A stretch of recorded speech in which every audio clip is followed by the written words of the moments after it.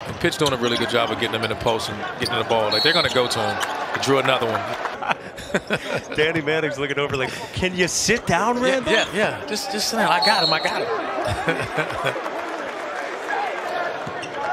now James, James Karnik back in now with his four fouls.